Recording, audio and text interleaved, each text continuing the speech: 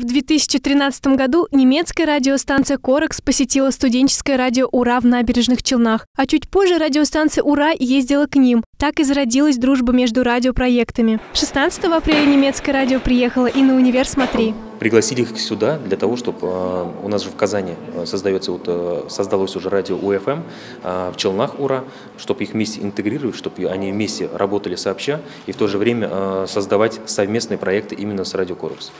Для гостей провели экскурсию, на которой подробно рассказали о том, как именно работает студенческое телевидение и, конечно же, радио. Основная цель визита немецкого радио – это сотрудничество между тремя радиостанциями – Корекс, ЮФМ и УРА, а также обмен опытом.